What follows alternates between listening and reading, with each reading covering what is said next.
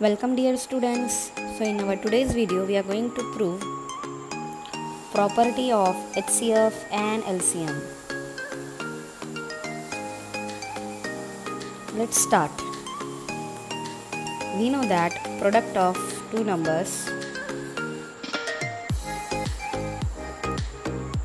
is always is equals to product of their HCF and LCM.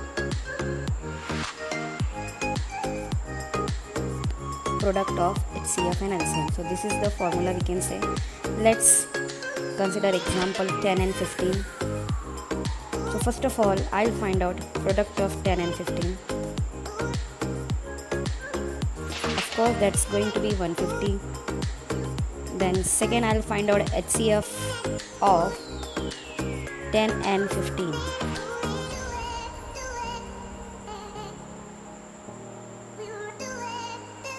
So if you see there HCF is 5. 5 is a common factor.